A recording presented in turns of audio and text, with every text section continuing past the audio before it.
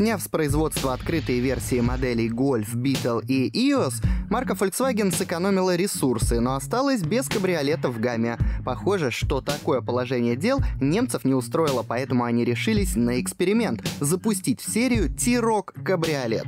Строго говоря, это далеко не первый кроссовер без крыши. Вспомним Nissan Murano Cross Cabriolet и Range Rover Evoque Convertible. Последний, кстати, продавался и в России. Обе эти машины ушли в историю, и теперь открытый Тирок будет единственным представителем сегмента.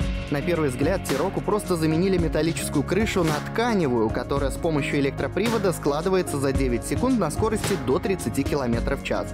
Но на самом деле кузов значительно перекроен. Усилена рамка лобового стекла, пороги и пол. Дополнительные усилители появились в дверях и боковых панелях.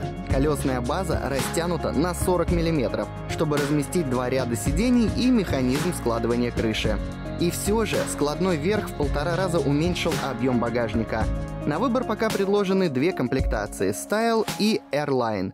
Белый кроссовер на фирменном видео — это базовая версия Style, а синий — Airline, который отличается декором и набором оборудования.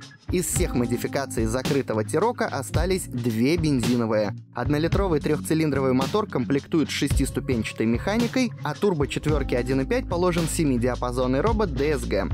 Привод только передний. Публичный показ кабриолета случится на грядущем автосалоне во Франкфурте. Европейские дилеры получат машины весной, а в России новинку мы едва ли увидим. Ведь закрытый тирок у нас тоже не продается.